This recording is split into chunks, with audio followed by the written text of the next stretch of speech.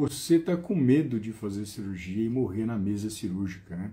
Talvez você vai fazer uma mastectomia, talvez você vai fazer uma cirurgia na cabeça ou cirurgia intestinal. E hoje eu quero trazer informações preciosas para o período pré e pós-cirúrgico que são fundamentais durante o tratamento oncológico.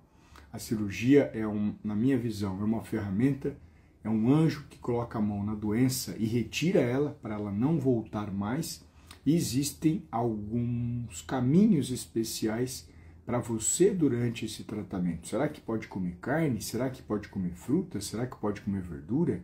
Existe algum alimento rimoso, que é aquele dito que faz mal à saúde? Então, fique aqui comigo, porque essa live é especial para você que tem medo de cirurgia e não sabe o que precisa comer antes e depois dela.